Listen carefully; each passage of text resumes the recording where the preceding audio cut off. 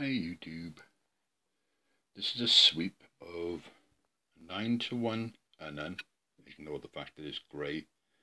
It's a low frequency one. Alright, triple wound.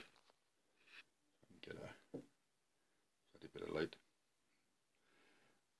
And a 456 ohm 2 watt load. That's 2, 4, 6, 8, 10 10 there.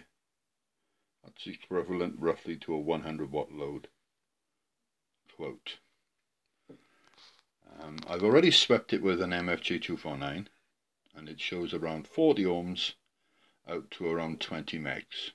Uh, that's fine. Um, I'm going to change this toroid. And with any luck we'll have a slightly better one in there but we need to uh, do something. Use my analyzer sweep Zero mags over here. Let me get a pointer minute. We have zero here, 30 here. The best SWR, which is there, is 20.7. But it rises slightly up to around uh, 0 to 18 megs. It doesn't do too bad. Um, SWR max is 2.15. Um, zero over here. There is a little tiny inductance in there. Um, I've measured it on my whole peak meter, just a cheapy one. But it does give me a reasonable reading.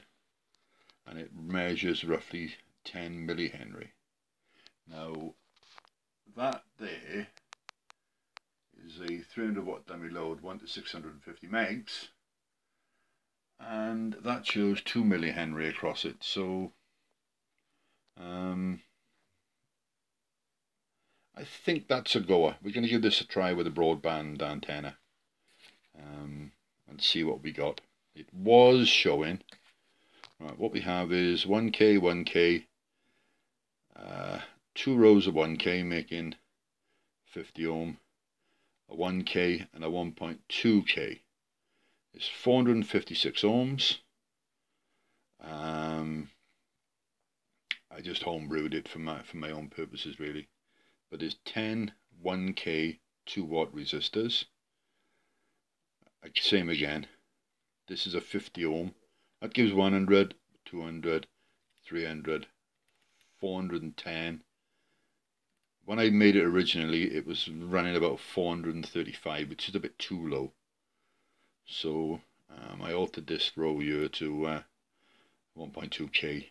Gives me 456 for the tolerance, so that is acceptable. Okay. Thank you very much, and uh, we will continue.